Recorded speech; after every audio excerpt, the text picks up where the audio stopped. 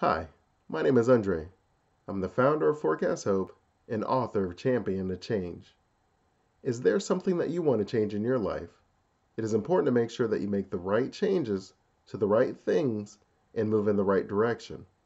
If you make the wrong resolution or change goal, you'll find yourself quickly unmotivated, exhausting all of your willpower, and abandoning things that actually matter to you most. On the other hand, if you choose the right resolution or change goal, You'll find yourself with clear direction, a sharpened focus, and clarity around the decisions that you have to make.